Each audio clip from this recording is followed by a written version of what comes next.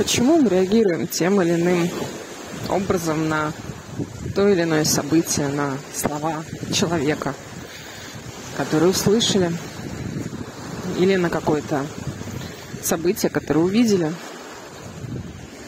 И если подумать, то зачастую мы это делаем, даже в основном мы это делаем автоматически, абсолютно не задумываясь о том, а что мы в данный момент, собственно говоря, делаем или говорим в ответ. Но такие действия и слова являются ли нами? Ведь если задуматься, все, что мы приобрели в жизни, это шаблоны, это паттерны чьего-то восприятия, которые нам навязали или передали просто наши родители, то общество, в котором мы росли, в котором мы живем. Мы совершенно безоговорочно взяли многие из них и несем как флаг в течение всей жизни. И когда мы видим этот флаг в нашу сторону, мы не задумываясь автоматически на него реагируем. Но что происходит на самом деле? Ведь человек, который что-то нам сказал,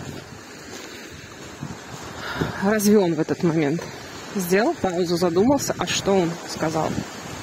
Он тоже абсолютно автоматически среагировал на то, что увидел в нас или то, что в нас услышал.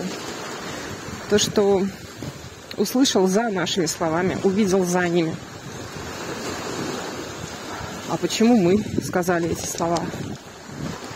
И снова упираемся в то, что мы опять что-то увидели, узнали в том человеке, который нам тоже что-то сказал. И когда мы это отматываем назад, получается, что, например, у двух собеседников включаются абсолютно автоматические шаблоны, паттерны, о которых мы даже не задумываемся.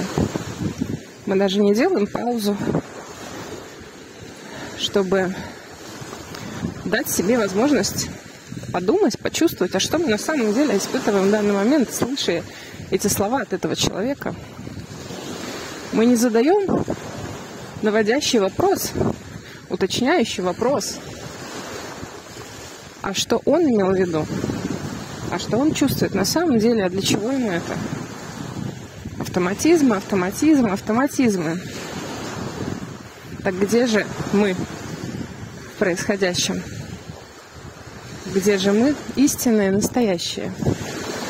Подумайте об этом и послушайте Балтийское море.